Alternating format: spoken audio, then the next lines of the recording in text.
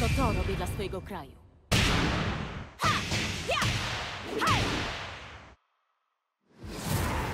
No dobra.